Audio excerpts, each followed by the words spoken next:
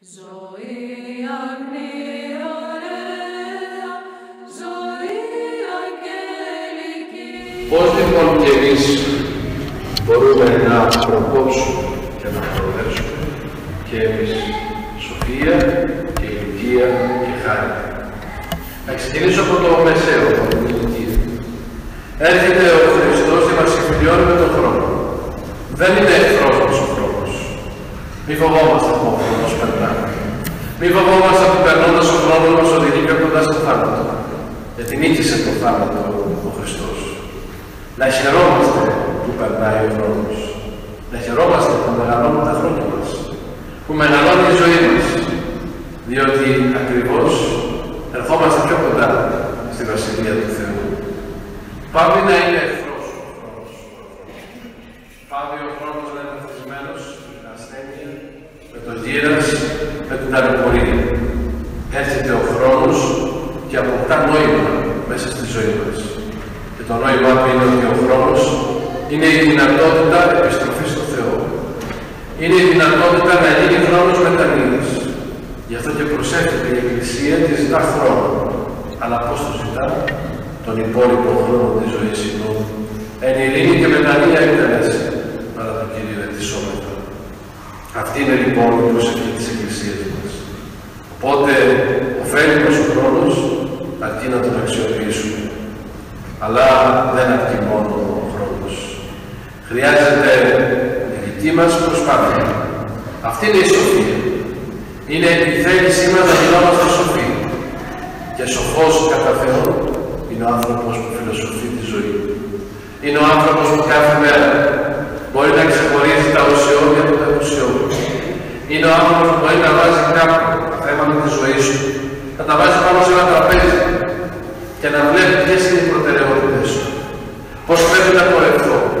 Και τώρα που αρχίζει η νέα χρονιά, είναι απαραίτητο να το κάνουμε αυτό. Να πάψουμε να λειτουργούμε με τη λογική, βλέπουμε και κάνουμε.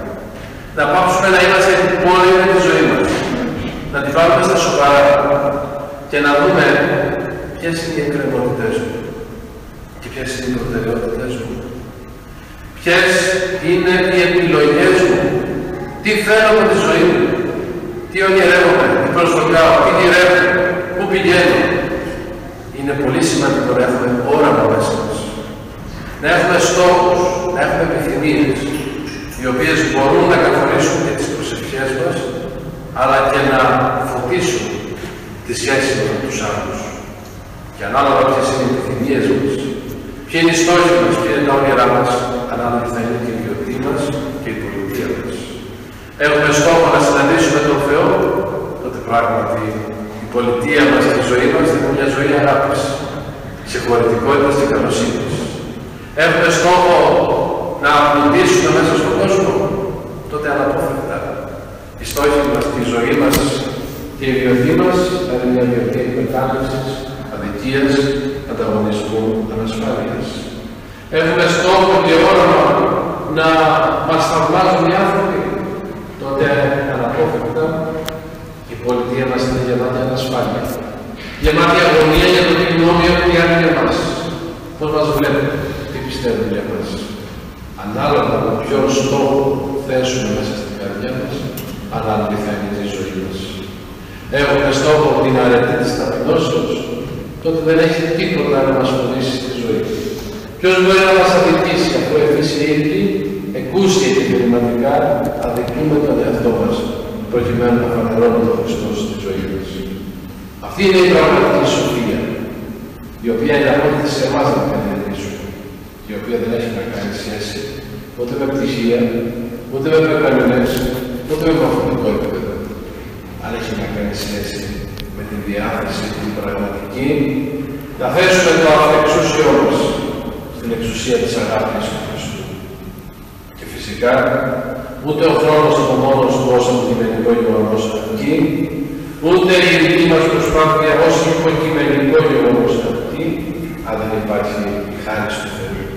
Γι' αυτό σοφία και ηλικία και χάρη παρά Θεό του παραλαμβάνεις.